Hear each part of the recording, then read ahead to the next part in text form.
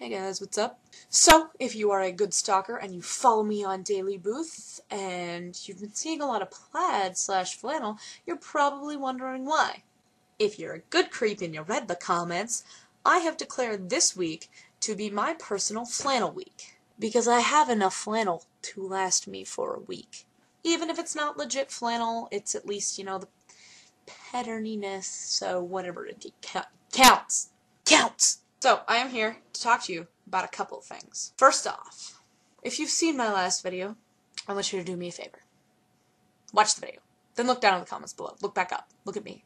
Look back down in the comments below. Now look at me. Now read the comments. Now what do you see? You see a troll. Now this is my first experience with trolls, and uh, it's a little weird, a little off-putting. Um, you know, not a nice comment. Hurts self-esteem. Because everyone has feelings and it just hurt so much. But no, really. I mean, it just kind of sucked. But the only way to deal with a troll is to troll him right back. So that's what I did. You know, it happens. And haters gonna hate. So, uh, what you gonna do? Nothing. That's what. Because haters gonna hate. Alright, secondly, this is kind of exciting. For any of my followers out there who watch American Idol, if you watched it tonight, they were filming in San Diego, and there was a guy on there in a Transformers suit, you know, with the car thing, and he could move it back and forth and stuff. I know him. And no, I'm not trying to troll you, which would be oddly ironic and funny. No, I actually know him. Um, he is my friend's brother and he lives out in Cali and it was just really cool to see someone I know on TV. Especially in his awesome robot transformer suit thing. Um, which if you want to find it, I would YouTube it. It might not be up yet, but you know, BitTorrents and just people who hack the internet all the time would probably find that interesting and put that up somewhere. But I wanted to put that I know him in as soon as possible because the fact that I know him is just so freaking awesome, and I'm gonna use his exploitation to exploit myself and, you know, get this to work. Speaking of which, those of you out there aspiring to be YouTube partners, if you haven't checked the partners regulation terms of service thing, the rules of the game have been changed. No longer can you apply to be a partner YouTube is currently invitation only, which in all technicality means if your video is getting a lot of hits and we like it, then we as YouTube will send you a message so that you can start profiting off of your videos. Which really means if you're stupid and you put a video on YouTube and people be liking it, we gonna give you money for that, yeah. So, you know, the people like me who spend a lot of time filming and editing and putting their good videos together, you know, they're not going to get any credit. But the people who use, like, their iPhone camera to film their friend doing a backflip off of their roof into a faceplant on the ground and then hitting five squirrels on the way down who then decide to attack him and throw acorns at him, no, they're going to be the ones who get famous. Which, if that actually happens, that's really cool and also it means I'm psychic. I'm an oracle.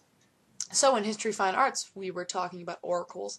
Apparently there was this guy in like the early 20th century who uh, made all these predictions and stuff, and he predicted that at the bottom of the uh, the Sphinx in Egypt, you know, the Sphinx, under its uh, right paw, there was the lost library of Atlantis, which the current Egyptian government won't let them go down there, even though some guy in the 70s, you know, did some like sound wavy type uh, thingermajigs and found that there actually is a cavern down there. No, the Egyptian government won't let them go at it.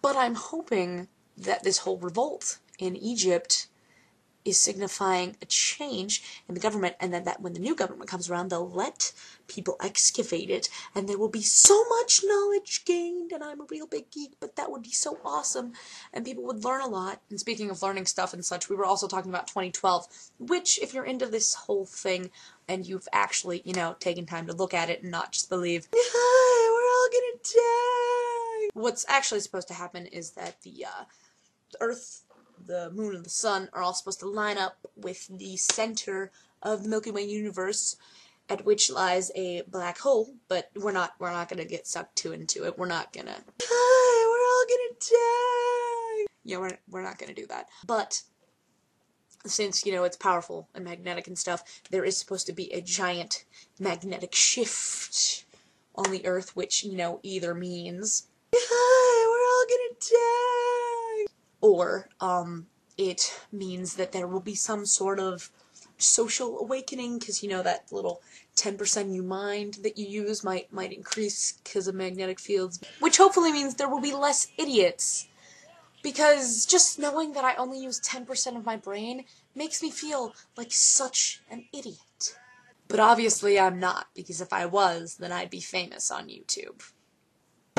So with that this is Humorous Interpgal O for wishing you a humorous day.